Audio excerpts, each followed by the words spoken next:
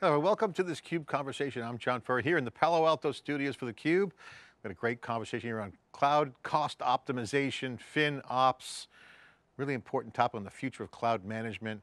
We're here featuring NOps with the founder and CTO, CEO, JT Giri, Thanks for coming on today.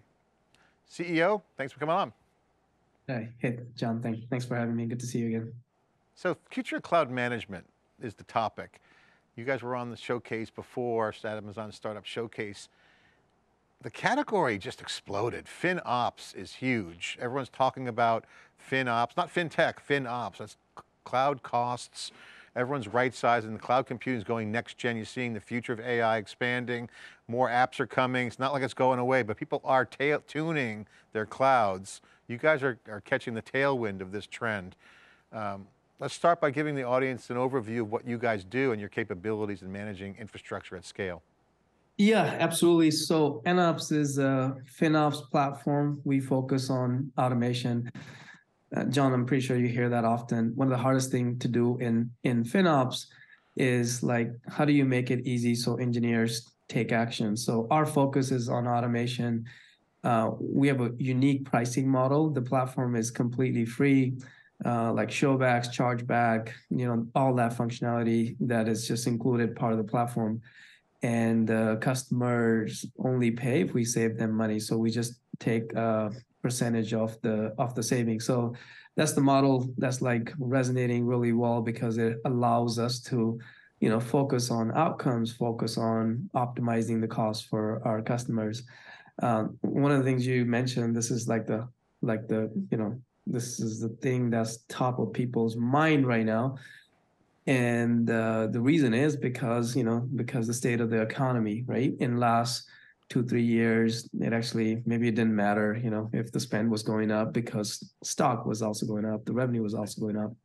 Uh, now, all of a sudden, there's this microeconomic, you know, which is really impacting people to take a step back and see, you know, how can they optimize their cloud spend? Yeah, and I think the, the so-called recession that people are seeing in the tech market is get to profitability or be more profitable. And I think that is turning a knob. So at least the cube we've been reporting, as you know, uh, cloud growth is kind of slowed down, but still growing, right? You got the next gen cloud with AI out, with AI coming around the corner, you're seeing people investing more in this kind of the next gen cloud, but they're reining in their current cloud. I call it, you gotta, it's like leaving the lights on. You don't want to leave your lights on in your house before you go to bed. You're going to turn everything off or optimize it so that it's, it's all policy based. This is the focus, I have to, and this is what everyone's talking about. This is where the action is because they're squeezing more profit out of their operations because the cloud's elastic. That's the best yes. part about it. That, that was the whole idea, right? One of the things actually we do is, you know, we look at all the dev environments and lab environments and we show developers pattern right? You know you only need this for monday to friday or you need it for only a few days a week and uh, and we you know provide this one click experience so they actually could pause these resources. And and in some cases they're able to save uh, in many cases they're able to save a lot of money.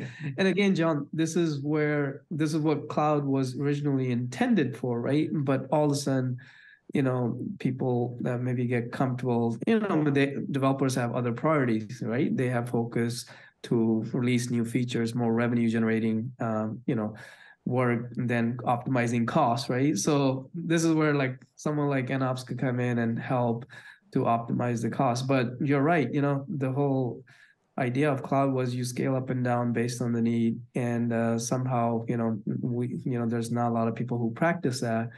And uh, and when you show the data uh, to the developers, and when you provide like a one-click experience, we do see people actually take action and they actually end up taking saving a lot of money uh, on their dev environments on the on their lab environments for example you know i read a survey i can't remember who was the author or what the actual numbers were but it was pretty high percentage of developers were leaving services on that were not being used or idle, so there's a lot of idle capacity and or services that are being left on.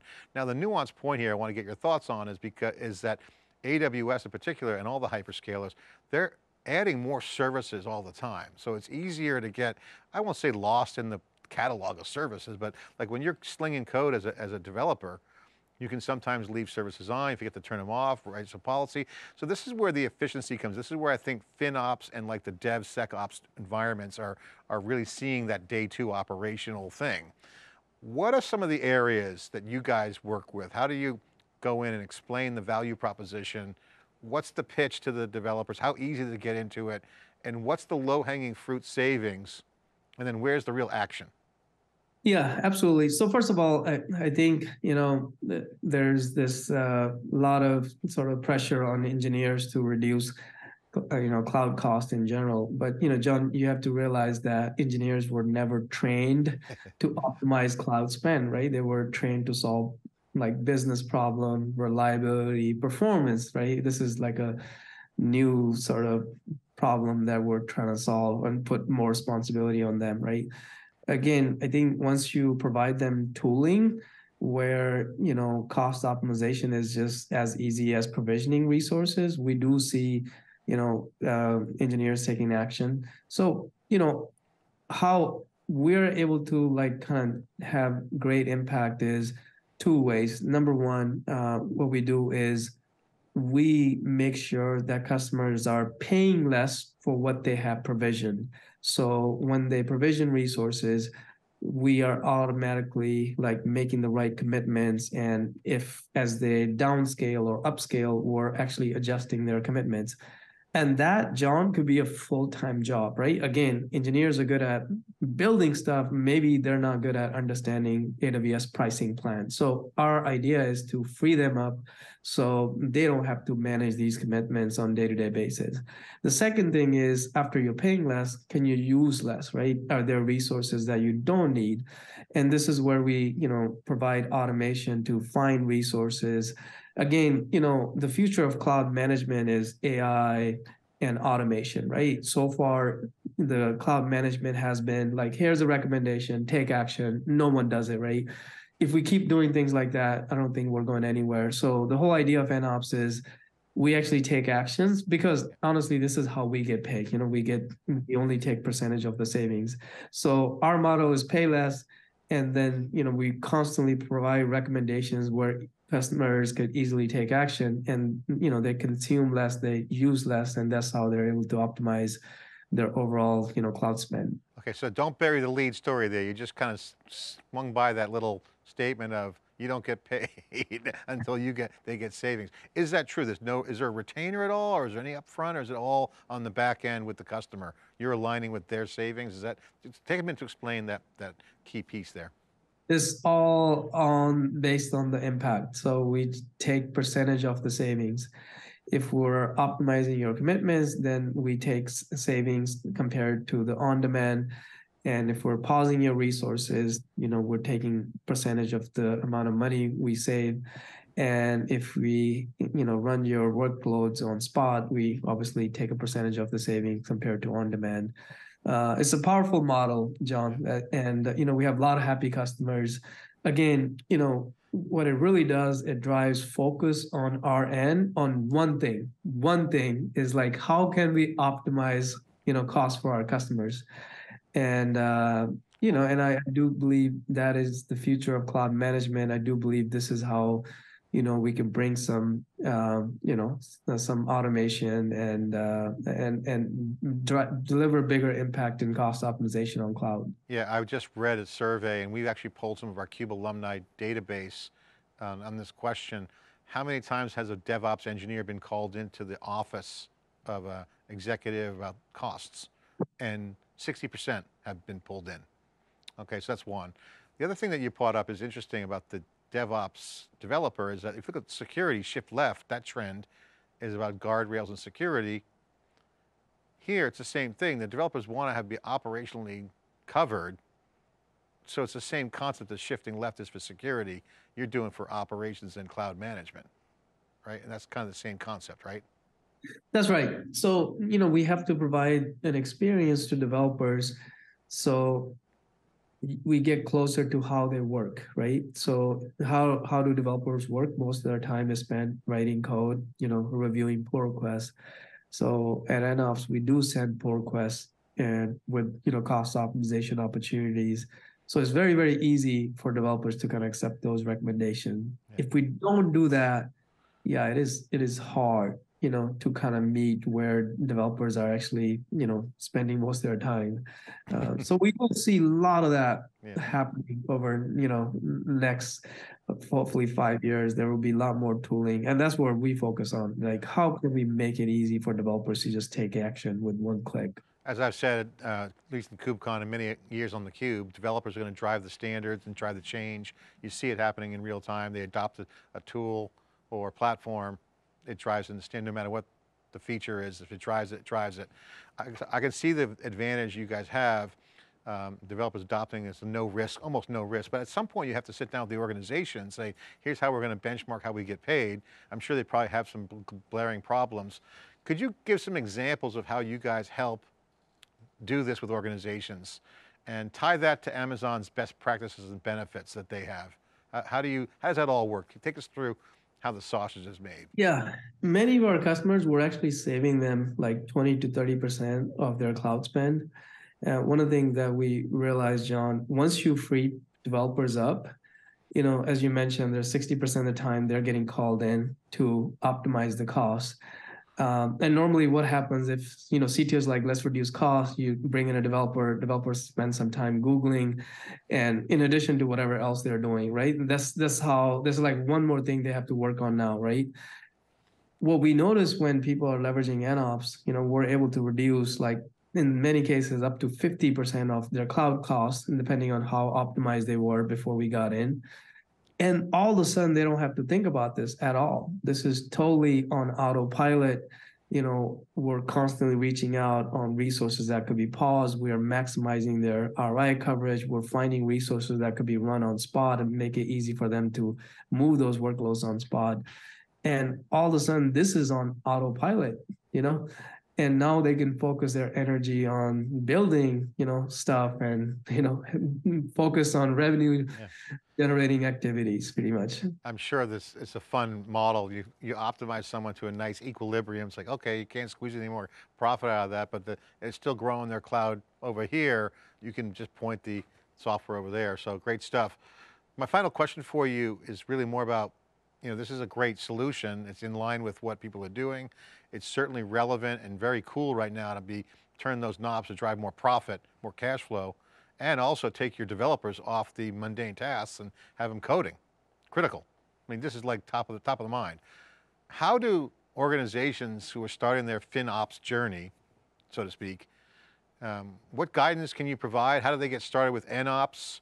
What benefits, what will they see out of the gate? Take us through that uh, onboarding, uh, or prospect watching, thinking, hey, you know what? This is exactly my board conversation, my executive meetings, my team meetings are talking about this. Let's jump in and do some NOps. What's the story? Yeah, the, the first step is, you know, if you sign up for our free platform, we can uh, look at your cloud data and kind of show you how we can save you money. By the way, John, we process like close to billion dollars in cloud spend. So this is all we do every day. So we're really good at figuring out ways to optimize, you know, cloud spend for customers. Uh, step one, where where I see a lot of success, once they see the data uh, in NOps, we built a lot of functionality around like how do you build showbacks, how do you distribute costs around, you know, across multiple teams and business units. Uh, we leverage machine learning for that and um, you know most of the time i what i see like customers don't even have that kind of understanding. So once they do this like showbacks and cost allocation then they develop this baseline. And then we on top of that we show you know what are the areas where we can you know optimize the spend for the customers. And normally it's one click where we can say you know just click here and we could literally save you, you know, five thousand dollars in month of May and maybe twenty thousand dollars next month, right? It's, it literally requires zero engineering effort, and we do this every week. You know, we're constantly sending like new recommendations, and customers just have to do like one click to implement those. In many cases, you know, if once you set policies, we take actions automatically.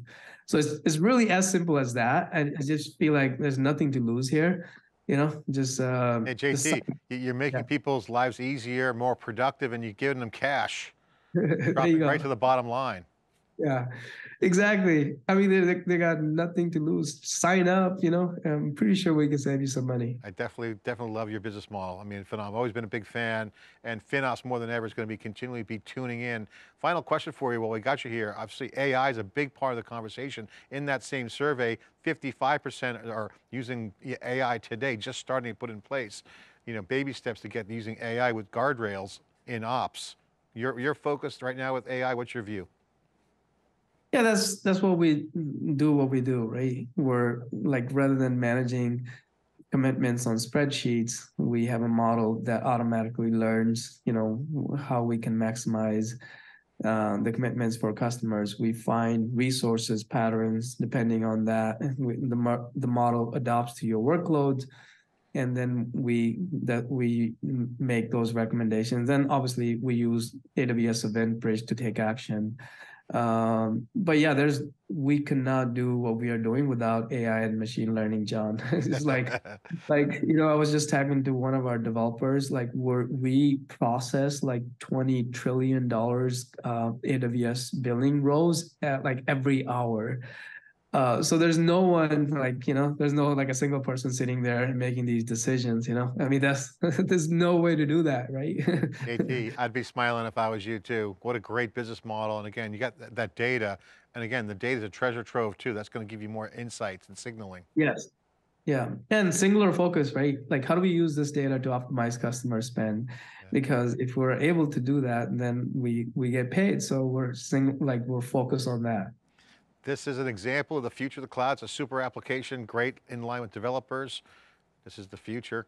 JT, thank you for coming on this CUBE conversation. Looking forward to hosting you on the AWS Startup Showcase coming up and looking forward to second return for Thanks, John. Thanks for coming on. thanks appreciate it Okay, I'm John Furrier here in the Palo Alto studios with CUBE Conversation.